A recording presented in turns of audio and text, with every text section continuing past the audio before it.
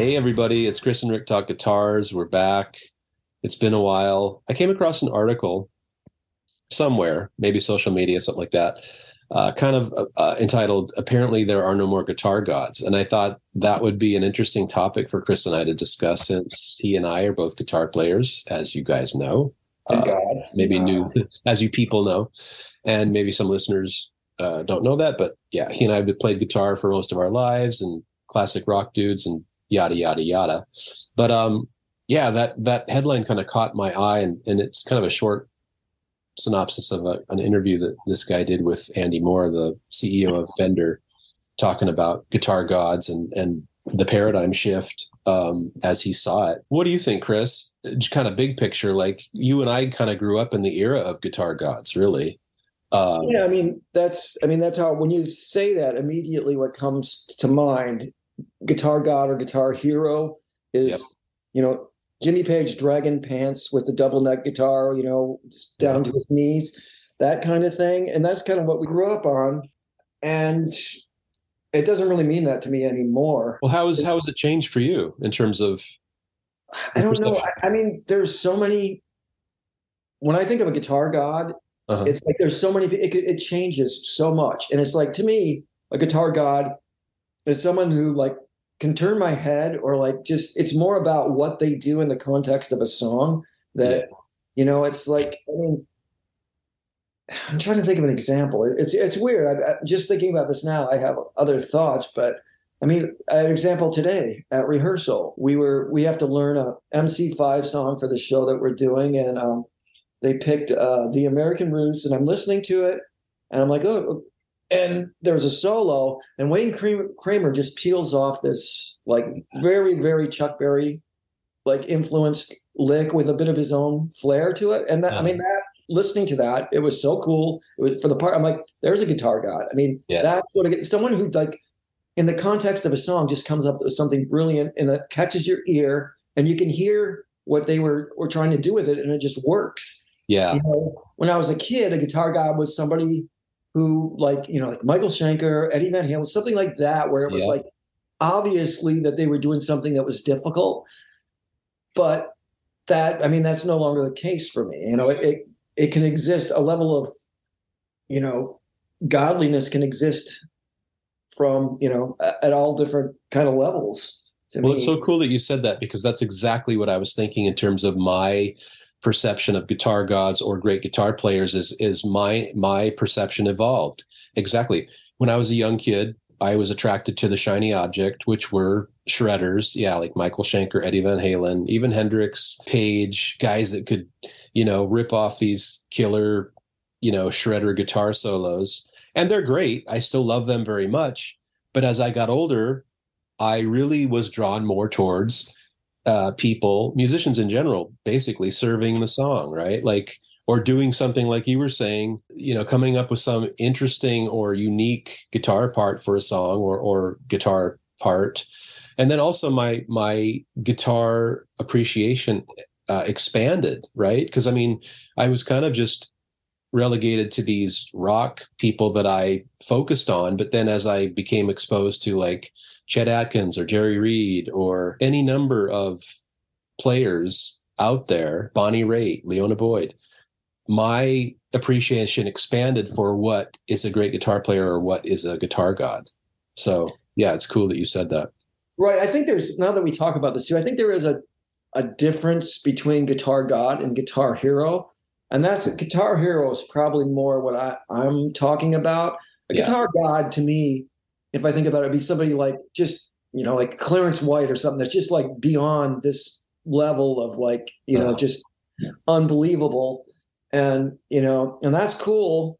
And I probably have I could probably list some people who I think are guitar, but a guitar hero is just somebody that turns my ear and it's like they they like saved or they made this song, you know. So it's just like somebody that just draws you in. You know, it doesn't even have to be solos either. It could be, you know, rhythm parts or anything like that. So when we talk guitar gods, I kind of, yeah, I kind of think that's a different, that's something that does really kind of bring in like technical ability a little bit in my mind. I mean, I don't even know if it's important to make that distinction, but when we're talking about this, it, it kind of struck me as there being a difference between gar- Guitar God and Guitar Hero. How about you? Yeah, well, so see, I like the way you're kind of delineating this, but I don't know if I, because I think what I attribute, what my perception of a great guitar player when I was younger was all technical proficiency and all this other crap or how fast a person could play. But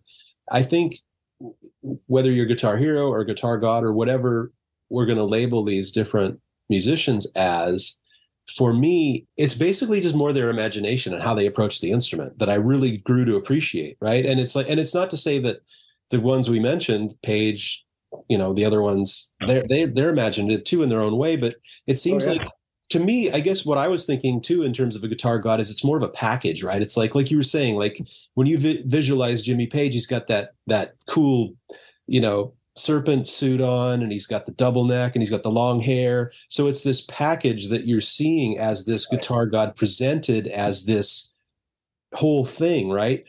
But like you and I were talking about, oh god, now his name escapes me, and it pisses me off, but that session guy for for bread that I sent you that video of, um, God, I forget his name, but that guy is one of the best guitar players I've ever heard in my life, and he does this subtle, tasty, awesome shit, but nobody knows what he looks like, you know, because right. he's a studio guy.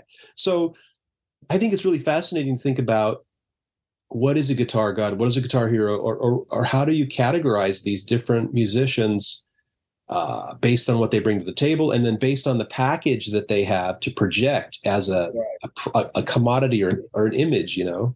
Yep, it's it was purely visual. The whole like '60s, '70s guitar god thing was definitely a you know a visual thing. Yeah, uh, one of the things that I think kind of makes things a little muddled is the way that in especially in this country how everything gets kind of like funneled into the sports thing like uh-huh. the sports I mean, that's where it becomes more about like ability and you know, virtuosity yeah. i've always pushed for separation of sports and rock that's kind of a problem with all of those most underrated guitar things yeah. and we talked about that before it's like okay yeah. if you're going to do most underrated what do you what is your criteria i mean who having a most underrated guitar test for somebody who doesn't play the guitar right away it's kind of invalid because they're just going to go for the thing that shines the most. I don't know. The longer you play guitar, the more you realize how things that you wouldn't have thought you would be impressed by before you're very impressed by after years of not being able to do what they're doing. I mean, sure, we could all like woodshed and practice and get play really, really fast and blow people's minds, but it's like there's so much more to guitar playing that really, if you're having an underrated guitar, you know, contest, it's that someone's going to have to know enough about the guitar to know why this person is amazing. You know, totally. The problem I have with these things, it's like there's there's no ratings, there's no fair rating system, no. and plus the other thing, it's it's fucking art too. I mean, it's you don't do this with painters. You know what exactly. I mean? Everybody brings a bit of themselves in there, and you know what? And it and it changes day to day. I mean, if if I kept a diary, who's my favorite guitar player today? I would have 30 different guitar players by the end of the month. It's just, yeah. I mean, I don't know. It's kind of crazy. But I guess what is interesting about this question that you brought up is guitar gods. Yeah. What do you know? What do the young guitar players think of that now? I mean, do they yeah. still have guitar gods? Is it the same that they had as you know as we had these visual like guitar slinger kind of like iconic guitar players, or are they looking for something different? And also now that everybody in the world practically plays guitar, it's like, is, you know, is that still, is there still guitar gods? I would imagine there is. Even though, I mean, like, you know, TikTok and Twitter and or whatever, all these, I mean, there's a million brilliant guitar players that are just like in their 20s yeah. that are like just kicking kicking ass on guitar in a in a technical kind of way. I don't know. It's like, what do you think that do you uh, what do you think the kids of today think of guitar well, I mean, uh, I had so much to say about what you just said. First of all, I, I agree completely. I think the sports thing is really an unfortunate aspect of our nature in terms of what, how we how we evaluate things and music especially it's ridiculous because it is an art and it's and and that's what I've learned as I've gotten older too. It's like, you know, and I was when I was young, I, I fell into that whole thing. It's like, oh, those guys suck. You know, these guys are shred. You know, and it's like, no, there's so much room for all of these different guitar players and all that they bring that you know making these comparisons is is pointless and frivolous. All it does really is fill space in a magazine or you know or fill space in an interview or or a, it, but it, in terms of real musicians and how we evaluate who we like and who who speak to us it, it has nothing to do with this these sports analogies you know where who's better than who yeah it's ridiculous so i, I get a note count i want a note count this guy 50 more notes how many notes did they squeeze into that second uh, and but like you said I, there's a couple people that come to my mind in terms of that I that I that even an old dude like me, they're on my radar. One is Orianthi, that woman that plays with all kinds of different artists, and she's a shredder. She plays, you know, great. She she's kind of in that vein. She's got a look. She's a great guitar player. Another one is John Five. Um, that guy is actually he's really a student of the guitar, and he he can play fingerpick stuff. He can play shred stuff. So I think those two guitar players, in terms of I think younger generations being them being maybe guitar gods in, in to younger generations maybe that's the case i still don't know about the dynamic and and if it's totally analogous to ours in terms of how these certain guitar players were just elevated to you know kind of god status i mean literally clapton somebody painted on a wall clapton is god you know? I mean and hendrix is kind of at that level too this mythological level of um stardom or or you know adulation that people have for him. But i always think about that too. But uh, in that article it was interesting because uh, i'm paraphrasing but one of the things that was said is you know some of the paradigm shifts were punk rock which totally makes sense right? Which punk rock was kind of the answer to the the decadent kind of silly 70s corporate rock shit that was going on. And then also in the 60s and 70s the fans of music or bands they they they tended to to idolize bands more maybe more so than than modern times. What do you think about those two kind of seminal uh, issues relating to maybe the death of the guitar god or or, or the paradigm shift i guess well, I would argue about the punk rock thing. I think there's plenty of punk rock guitar heroes. Johnny Thunders is one that comes to mind right away. But uh, yeah, I mean, I think the guitar was, and the guitar slinger, kind of like, I think yeah. there was plenty of people who idolized, you know, punk rock guitar players. I mean, that's cool because it was still very visual. There's posters, you know, of punk rock guitar players. So I think more than anything during that time, it was probably like new wave music and like, you know, synthesizers uh, and keyboards that maybe kind of dealt a little bit of blow to the guitar hero. But I don't know. I mean, I just think you know, the thing that I know is a lot of times you go to a show and it's a good show and you walk out and how many times have you heard somebody saying blah blah blah is a god because they play really well you know what i mean yeah like you know they move people they like you yeah. know they just did something it worked i mean i don't have posters of guitar players in my room anymore or anything like that so it's it's just a different it's an interesting topic but it's like i keep getting turned around trying to think of how to address what it means. I mean, a, a, guitar hero or a guitar god to me is just like somebody who moves me. Yeah. Just catches my ear. And yeah, and I agree. But I, I really thought it was cool that you and I basically had the same perception of, or, or evolution, I should say, in terms of our perception of guitar players and what, what constituted being a good guitar player to us at different points of our lives. And I think that's probably the case with most people you know, I, I think the punk thing is interesting. I think you're right. I think there were guitar gods pers- but they were i think but but it's interesting because their motivation was different they, i think their right they weren't like was like burn this shit down or or you know the punk motivation was a little different than kind of the complacent decadent 70s 60s shit that was going on but yeah. and solos definitely man. And so i think i think you're right. I think the new wave thing did it was kind of a lull in the guitar thing that maybe kind of reset things a little bit because obviously guitars came back and there were plenty of bands new wave bands that had guitars but synths definitely took a front front stage during that time period. But that's a good point. I think new wave probably more so than punk kind of put a lull into the whole guitar thing. And then like 80s, late 80s college radio, which you know turned into alternative or whatever you want to call it. There was a while where you know, solos were frowned upon. I was in a band too. It was like, you know, I, I didn't want to play a solo. You know, I'm like, oh no, if you play a solo, just play something really quick. Yeah. So, you know, solos became kind of passe, but we're still, I mean, we're still, we're not talking about guitars. I guess, I guess the guitar god does involve like tasty solos or something. It must because that's where I keep going to. But I think, you know, would somebody like Keith Richards be a guitar god? He is a guitar god. Yeah. But um, he's, you know, primarily, you know, rhythm based. And, you know, he does some, you know, Chuck Berry type licks, but he's just brilliant. I mean, yeah. what he does with the guitar, the songs he's that he's created on the guitar. I mean, fuck yeah, he's a guitar hero. I mean, so yeah, and he doesn't do like shreddy stuff. I mean, I don't know. It's well, maybe part of it too is the advent of alt or alt bands that started to have like 20 people in the band on stage, right? How do you pick out oh, yeah. like yeah. one person that you, I mean, that might be, you know, another part of like modern bands. I mean, I guess they're not, well, they became more common, you know, having like more than four people or three people in a band became a thing, right? Where you've got six or seven people on stage, all trading instruments. So, that's another kind of paradigm shift that well not paradigm shift but something that kind of started to happen i think. Yeah.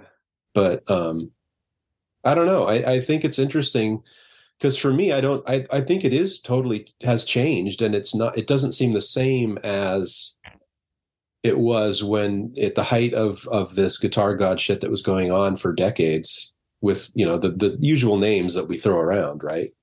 Right well, in the context of this article that you found, it was basically this guy mentioning something guitar god is dead, but he's talking to somebody at Fender who is going right. nuts because we're selling more guitars than ever. And I believe that. I mean, I believe, yeah. but I think the guitar is something that in, you know, back in the heyday of the guitar god, it was more of a novel thing. It's like not everybody did it. It was something that was like just mysterious is like, man, you know, I'd like to one day learn how to play guitar, but I don't know. And now everybody's just like, it's what you do when you're in fifth grade. You know, yeah. it's you get a guitar for, you know, someone gets you a guitar and you learn how to play it. And usually these little fuckers are really good too, which, oh, yeah. I mean, that has something to do with it. But again, I mean, for me, and hopefully a lot of people, it's like, it means it's not as easy to define. Like, you know, I mean, otherwise there would be one guitar god. I mean, godliness is tastiness. I mean, it's just like for me anyway. It's I hear it daily. Whenever I'm listening to music, I hear it all the time, and I hear it. You know, I don't think there is any one guitar player who's the best, or I don't think any yeah. one guitar player can play circles around. anybody. there are guitar players I think that play in similar styles, where someone will mention one, and I'll go, "Oh, that's great," but I think this guy does the, what that guy's doing better. You know what I mean? I, uh, I just like this guy's take on a little bit better yeah. there's that. But um, yeah, I don't know. I think anybody has the ability if they they have it going on and they're really in touch with their instrument to be a guitar god. Yeah, and I think you hit on another good thing too, the proliferation of guitars and how guitar is pretty much an accessible instrument. And yeah, I mean, you look at YouTube and you'll see these young young kids on there just playing some insane stuff and it's like so I think technology and the proliferation of guitars has probably helped kind of um, democratize guitar to a point where it's like, oh yeah, this little this twelve year old can play all this crazy stuff on guitar. So it's like they see, you know, professional musicians and they're like, oh, I can do that, or you know, I'm so so maybe just in their mind, it's like they've the their own proficiency has kind of um, you know changed their perce- skewed their perception on you know what professionals because like you were saying to me when i was growing up it was more of a black box or mystified i was mystified by like how certain guitar players did things or or how they played. So it seemed like there was a lot more separation between me and that guitar player. It's like how are they doing that? Or you know what I mean? And now, and that's another thing, like technology. Like now there are videos, and I can go, oh, I see how that person's doing it. Or they'll just do a rig rundown, and or they'll show you on video. This is how I do this part. It's like, oh, okay. And I still can't do it. no, the thing of it is, you talk about all those kids, those like little virtuosos out there, you know, on posting videos. Yeah. What are they playing? They're playing like ACDC and Led Zeppelin. True, yeah. They're playing stuff from the guitar. So obviously they have guitar heroes. I mean, yeah. they still draw from the same sources. I mean, it's just like it's just good rock and roll. So yeah. I mean, and that's I mean, kind of like for, you know, when you started out, when we started out, and probably everybody from like the 50s on, I mean, it was what did you play first? You learned the blues, right? You learned, yeah. you know, the basic thing, and, and you took it from there and you went to, you know, rock or whatever you wanted. But it's something, so for them, I'm guessing that what do you learn? You learn like the classic rock, you know, so yeah. that's kind of like the blues for them. You know, a lot of people, it's just like the foundation. Yeah. If, if you, I, I wish I had like a 22 year old here to ask that was into guitar, that played guitar, and ask them like, who's you know who's a guitar hero of yours? Who do you really look up to? And chances are it would be somebody from the 70s or you know 60s or 70s. But yeah. at the same time, I mean, I don't really follow. I don't have my finger on the pulse of. I mean, I'll check stuff out, you know, because I'm always curious. But yeah, I just. Well, I say we pose that question. Like we'll pose it online, and if there are young listeners that of the show. Yeah, because I'd love to know their perception of who they love on guitar and what their perception is of guitar players these days in terms of if it if it is analogous to kind of how we were if, uh, impacted by guitar players uh, in our youth, you know. Right. Yeah. It's curious. Cool. Well, yeah that was great i yeah we'll pose that question on on our site and and on our social media but that was a great discussion and i'm sure we'll have more to say about this but yeah thanks for listening as always and check us out on the usual places spotify apple music and apple podcasts and and our site chris and rick talk guitars.com all right. until next time. Bye